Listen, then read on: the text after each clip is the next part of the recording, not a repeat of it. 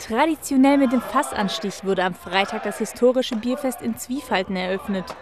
Seitdem wird im großen Festzelt gefeiert. Für eine fröhliche Atmosphäre wollen dabei die vielen traditionellen Kapellen aus der Region sorgen.